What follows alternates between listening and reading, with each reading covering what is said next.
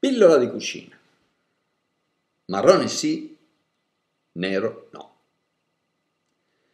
Io, maccheronicamente parlando, mi diverto sempre a spiegare una cosa. Lo zucchero ha una formula chimica con dentro una serie di elementi di nome carbonio, elementi di nome idrogeno, elementi di nome ossigeno. Mm? Molecole. Lo zucchero è una bella strana, una molecola bella grossa, formata da atomi di carbonio, idrogeno, ossigeno. Quando voi crostificate, rosolate, tostate, trasformate una serie di zuccheri, non tutto lo zucchero, una serie specifica di zuccheri in una sorta di caramello, ok? Molto maccheronicamente. Non è che, lo, che il caramello sia zucchero fuso, come pensano alcuni. Il caramello è un composto chimico diverso dal composto chimico che è lo zucchero, naturalmente presente nelle, negli alimenti che stiamo rosolando, tostando, eh, crostificando, eccetera. Per l'esattezza, una delle differenze tra il caramello e lo zucchero è che se n'è andata via una parte di atomi di idrogeno e di ossigeno sotto forma d'acqua, di vapore. Cioè sale percentualmente il contenuto dell'elemento chiamato C, carbonio, carbonio, ok?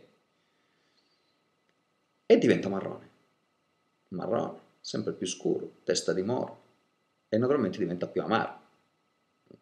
È una sua caratteristica. Caramello è amaro, non è dolce. È dolce finché gli resta ancora un po' di zucchero non del tutto caramellato. Quando è tutto caramellato è amaro. Ma quando diventa nero è un'altra cosa. Tutti gli atomi di idrogeno se ne sono andati, tutti gli atomi di ossigeno se ne sono iti e resta solo il C di carbonio, che a questo punto è carbone.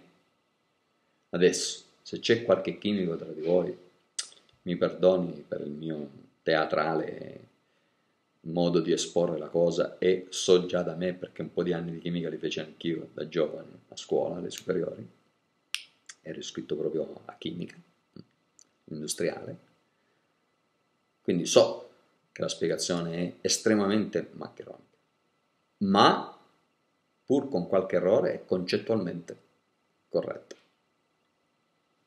Quando stiamo crostificando, rosolando, tostando, stiamo scurendo una certa parte, trasformandola in termini chimico-fisici, ma principalmente chimici, in qualcosa che è molto, molto, molto vicino al caramello che se proseguiamo diventa carbone. Quindi marrone scuro quanto volete e non c'è problema.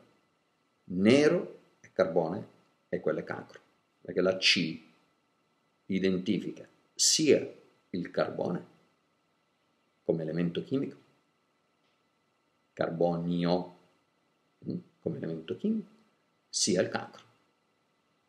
Vedete voi. E ricordatevi che un olio può essere totalmente esausto ed essere pulito, profumato, limpido e trasparente ed essere totalmente esausto. Perché l'odore e il colore sono indici di frittura, non di esaustività. L'olio si esaurisce anche senza metterci dentro niente, se lo tenete in temperatura. E quello è cancro. Poi ognuno faccia quello che vuole nella propria vita. Ma in Italia è reato penale, ricordatelo. Quindi patatine fritte, arrosti, roast beef, rosolature di cipolla, mirepoix, eh, voi volete voi, hamburger, costate, tagliate e così via, marrone, scuro fino a quanto volete voi, ma mai nero. nero e carbonio. Ciao.